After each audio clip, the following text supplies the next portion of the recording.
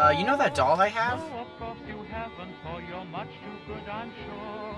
Don't you be afraid of his Yeah, uh, my mom's making me get rid of a bunch of stuff. Um, so I was wondering, do you, do you want it?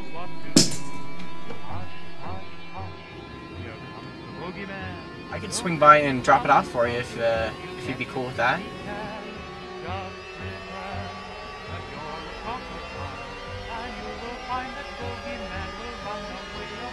I'll see you later, man. Alright, talk to you later.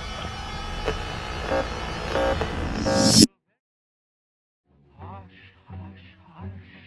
Here comes the boogeyman.